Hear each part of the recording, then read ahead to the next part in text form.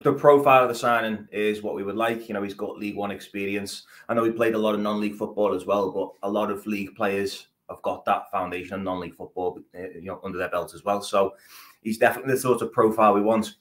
It's the position we wanted as well. Uh, a lot of your guests on the show, and I've been harping on for the past 12 months, we've been just sticking with the same failed midfield um, that, you know, needs something added. I think the three players we have there already uh, you know, in Merry, Hendry, and Walker. They're solid players. You've got Jennings who can add to the mix, but everyone has felt we need that extra something, that extra ingredient in midfield.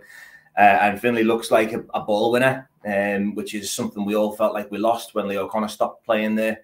Um, he's a leader, which obviously you know you can never have too many leaders. Uh, and I like also he's he's got experience of a dogfight in League in, in, League Two. He was part of that Bristol Rovers team that went on a crazy uh, surge up the league and ended up getting promotion against all odds on the last day with their 7 0 victory or whatever it was on the last day. So, he, you know, he himself will have experience of knowing that it's never over. Because it's something that I preach all the time, year in, year out. It doesn't matter how far off you are, you just need a good run. And he's a player who proved that. Um, but yeah, the right profile, the right position, the right type of player. Uh, I'm very excited about it. It's only one signing, and obviously we want more, but um, early in June, and we've got our first very impressive sign. So I'm happy. Uh, hopefully, more to come it feels like a real statement of intent to me. Um, there may be factors behind him wanting to move back to Merseyside because he is a Northwest lad who um, started his career actually with the likes of Southport and Warrington before moving on to the New Saints. And this is where I think his profile takes a real interesting turn. He won four Welsh Premier League titles with the New Saints. He won a couple of cups with them as well. He then went to Fylde and won the National League North with them. So he played against Tranmere in the National League in the 2017-18 season. He then moves on to Bristol Rovers, and as you, uh, sorry, he goes to Accrington first, plays against Tranmere uh, in his time at Accrington, has a spell at Fleetwood, and then moves on to Bristol Rovers.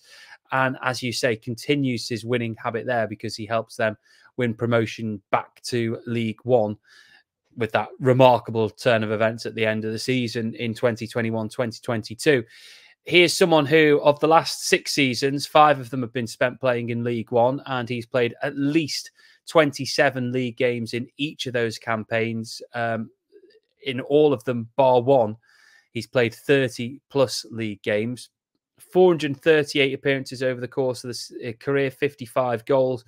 But intriguingly for me, over three years with Bristol Rovers, 121 appearances. This is a guy who he consistently plays football matches, and um, I think you can safely say about some of Tranmere's current midfielders that's not always the case. Yeah, massively. I mean, Walker is obviously the one that everyone worries about all the time, and and this now, what what I like about this particular sign, and you, are right, it's a statement of intent because I like that this is a player who is actually going to put pressure on those starting midfielders. He's going to come here to start games. You know, he's not going to come from Bristol Rovers playing 121 games for them to come to us to sit on the bench and accept his second fiddle to to uh, to Walker or to Hendry or to Merry. You know, he's not going to be happy with that. He's going to want to be pushing them for, for the starting spot. Whether this means, I mean, we may tinker with formations that gets all three of them in there. I, I, I, don't know, but the, the real point is it's not a signing that just makes up the numbers like um, McAlear. He was just a number. Um, you know, we were all excited when we signed him, but he was never a, a viable option to to pressure the starting midfielders. So no, this is a really good sign, and uh, yeah, he's played a lot of games for Bristol Rovers. They're, they're no mugs, Bristol Rovers. They're, they're, a solid team. They always have been. You don't play that many games for them and their fan fans um, if you if you're below standard or if you don't give give everything. You know, I, I see them as a similar sort of fan base to ourselves. They're quite hard to please, and um, they when it was announced that he was leaving them a, a month or so back, they were sort of wishing him well and thanking him for all of his service. So he's clearly set a high standard at a a level that's higher than where we're at. So it's a massive sign. He has said in his interview, coming sort of home, if you like, was a big part of it. You know, he knows Tranmere. He's he's a he's a Merseyside lad. He's from Liverpool.